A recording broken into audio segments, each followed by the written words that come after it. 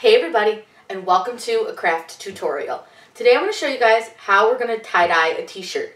But before we get started, make sure to subscribe to my channel. I put out new videos all the time. And hit that bell icon. That will alert you to when I post a new video. This right here is the t-shirt that we did. And we used Tulip brand tie-dye from Joann Fabrics. It's super cheap and you can get it in lots and lots of colors. This one is, I believe, teal, purple, lime, and pink. And it came out really, really cute, and you can see the front end. Here's the back, and we did a swirl pattern, but you guys can do any pattern that you like, but I'll show you guys how to do the swirl one. And then we'll show you all the steps that you need. And in our next video, because this is just part one, in our next video, I'm going to show you guys that you can do HTV on your tie-dyed shirt. So let's go over and we'll start tie-dyeing. We're going to do the wet method of tie-dyeing, which I already pre-washed and dried my shirt, so um, I'm going to just get it wet in this bucket. You don't need to get super soaking wet, just wet enough. And then you want to make sure that you do wring it out.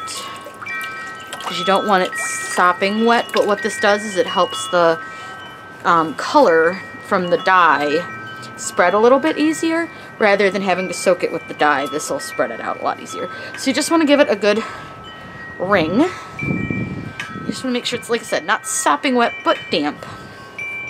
So once we've done that, we need to get this. And only because I know that when I film this, I will have already used these. Let me show you really quick. The tie-dye kit that we're using is by Tulip, and I have two of them. I have a lime and teal, and then this purple and pink one, which I opened already so that I could get the gloves out and make sure I had all the pieces. So we're going to do a spiral tie-dye on this. So what you want to do is lay out your shirt on your surface. You can use a table or we're just going to use this wire rack. And you want to take the center or wherever you want to start your spiral and pinch it. And then you just twist your shirt around that pinch. And depending on how neat you want it, you can actually make your sh shirts folds a little bit neater. But you just basically spiral around that little spot. And it's not super easy to do on a wire rack. It's a little easier on a flat surface.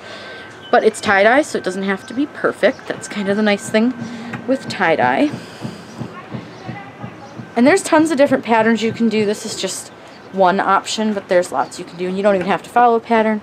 You can just put your rubber bands on and twist it and swirl it however you want to. So once you've gotten pretty much the part where you can't swirl it anymore, you're going to take all this and tuck it together. Now depending on how big your shirt is, it's going to depend on how big your spiral is. This is an adult's large. I'm going to go ahead and pop this off. I'm going to apologize now because my neighbors are outside.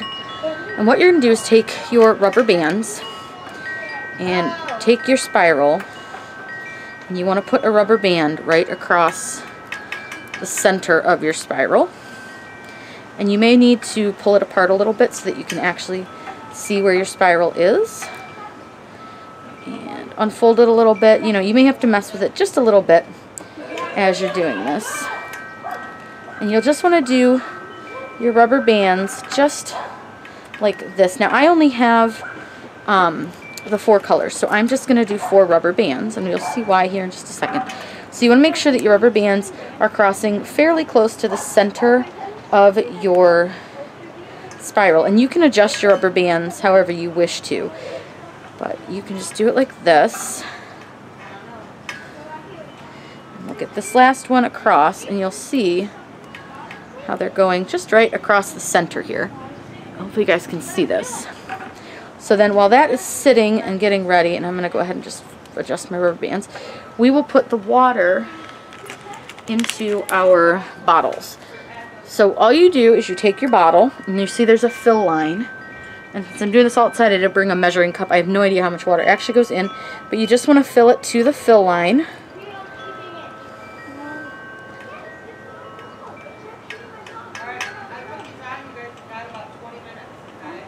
So you fill it to the fill line.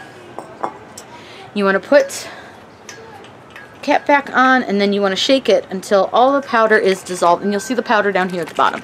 So I'm going to do all these off camera and when we come back I'll show you guys how to put this on your shirt. So now that we have put our dye together, you have to shake them for about a minute apiece, but it's not too bad. You want to make sure all of your powder is well mixed in. And what you want to do now is soak one corner or one pie shape of your shirt in the color that you want it to be. Now because I have four colors, I have eight pie shapes, and I am doing this over a bucket so that I can make sure that I'm not dripping. So I'm going to do my pie shapes opposite each other so that when I do all four of them, they will all be in different spots. Now, like I said, the, having it wet already is going to help this dye spread into the fabric, but you do want to make sure that you soak it pretty well. And we're going to do the backside as well on this, but you do want to use a fair amount of dye. And then we'll go ahead and I'm going to do, let's do the lime green. And the lime green just splashed me. So the lime green I'm going to go ahead and do kind of in this center one. Again, this part is all however you guys want to dye it. You don't have to do it exactly the way anyone else is doing it. That's why tie-dye is a lot of fun because you can make it your own. And you can put as much dye on it if you want as you want or as little as you want. It's all a personal design thing. So you don't have to be too precise. You just do whatever you want. And these are my kind of crafts. I like the kind of do whatever you want types where you make your own designs. So then I think we'll do purple. I will say be careful when opening these caps because they do tend to spray a little bit. So I'm going to do the purple one on this side. And you'll see that in parts it's going to bleed together and that's okay. That's what tie-dye does. It bleeds together. But again, doing it in the wet method I think really gives you a nice coverage. And I wouldn't worry too much if you squeeze a little bit into the other um, pie shapes. It's fine.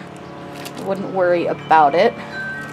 But you do want to get a nice saturation.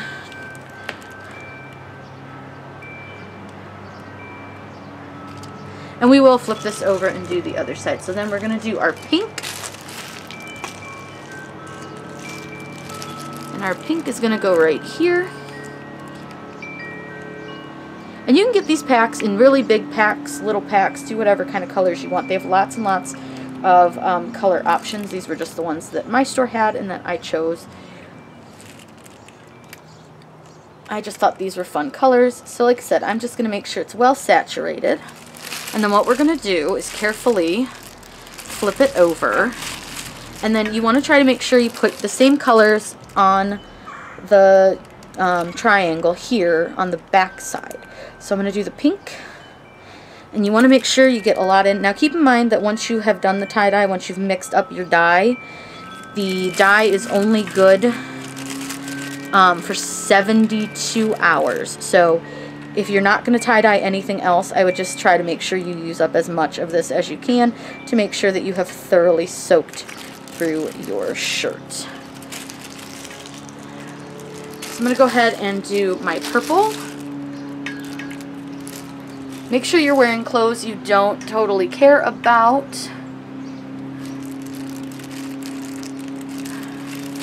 Having a little purple issue here because my rubber band for the green kind of isn't on the right side of my purple, but it's fine. We'll put the green on. I won't worry too much about it. Again, this doesn't have to be perfect. That's why I like tie-dye. It's everybody's own whatever they want to do with it. So our green on the one side might be a little funky, but it'll be fine. So again, I am doing this over a bucket. So let's go ahead and do lime green since we have a little fudgy lime green section over here that's going to be a little weird. But that's okay. No big deal. And then this is the other lime green section, so we're just going to make sure we get that nice and soaked. And again, this is really all you guys have to do. It's really easy to do. So let me get this finished, and when we come back, I'll show you how to wrap it up. Once you've got your shirt entirely covered in dye, you just want to wrap it securely into some saran wrap or plastic wrap. You're to let this sit for about six to eight hours, depending on how vibrant you want your colors. And once that's done sitting, we will come back and show you guys what our next step is. We've let this sit overnight, mostly because had I not, I'd have been rinsing this at 1 a.m. So it's set for about 14 hours.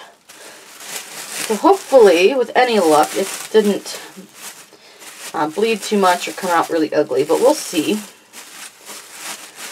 They say anywhere from about six to eight hours, but you could do more. So what you'll do is you're going to unwrap um, it from your saran wrap. Make sure you're wearing gloves. I have these different ones on. I didn't like the ones that came with the kit. They still got dye on my hands, so I was not a fan. And then you're going to take off your rubber bands. And we're just going to, try not to splash yourself with the rubber bands like I just did. And then you're just going to rinse your shirt. And you want to use like a lukewarm-ish water. Now, I do recommend don't do this in like your white kitchen sink or your bathroom sink or tub um, because the dye is pretty bright and so it's going to get everywhere. So you'll want to make sure, like I'm using my utility tub, obviously we don't care if this one gets messy. And you'll want to rinse it. Turn that down just a little bit. And you're going to want to rinse it until your um, t-shirt runs completely clear. Or the water runs clear. And you can wring it out as you go to help some of that water come out. And you'll see that the colors are going to be intensify a little bit just because you're washing out some of the dye but it's still going to be a really pretty shirt. But you do want to make sure that you rinse this really well. And you can see, like, there's a ton of blue dye in this. So you just want to keep rinsing and rinsing. And this can take a couple minutes. Once we've rinsed this, I'll show you guys what it looks like. And this is why I told you don't do this, like, up in your kitchen sink. Because it's pretty messy. You can see all that blue dye in there. If you got this in your kitchen sink, you might end up with some blue dye in your sink, and I don't know, I don't think I'd be real happy if I had blue dye in my kitchen sink. So I just recommend making sure that you do this in a sink that you don't care about. You could do this um, in like a bucket or something as well, but you do want to make sure that you rinse this really, really well. We are going to wash this afterwards. One thing to note, the first few washes, I would say probably three or four of these washes, do them alone. So don't wash this with anything else, especially not your good like white work shirts or blankets or anything like that because the bleed, the dye is going to bleed some. So do make sure that you follow the directions. You do wash it well. You're going to want to make sure that you are, again, rinsing it really well. And you can see now I'm getting some more of the dark color. I'm getting some more of that purple, a little less of that teal out of the shirts. I did put a lot of the teal dye in here I partially really like the teal. And now I'm getting some purple. I don't think we'll see too much of the pink rinsing out. But I'm going to finish rinsing this. Obviously, you guys don't have to watch this. Um, and we'll stick it in the washing machine. I'm going to do a warm wash. Um, just a normal wash, nothing too crazy. And we're going to just go ahead and put a little bit of detergent. So I would say just a little bit in the bottom of your cap and then you will be good to go.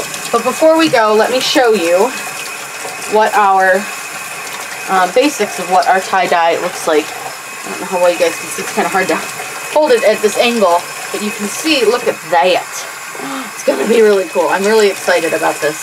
So I'm going to go ahead and get this washed, and when we come back, I'll show you our finished shirt. Here is the finished t-shirt. We did wash this in warm water, no bleach, by itself. That's very important because you don't want to get anything else with the dye.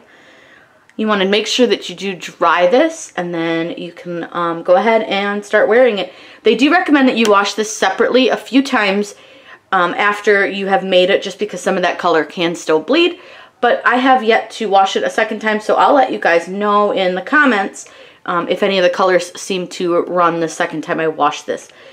Now, like I said, be um, on the lookout for part two of this video on Wednesday, where I'm going to show you guys how to HTV a tie-dyed shirt. I hope you guys had a great time learning how to tie-dye. If you have any questions, please let me know in the comments down below. I'm always happy to answer those for you. Make sure you subscribe to my channel. I put out new videos all the time and hit that bell icon. That will alert you to when I post a new video. Have a great day and happy crafting!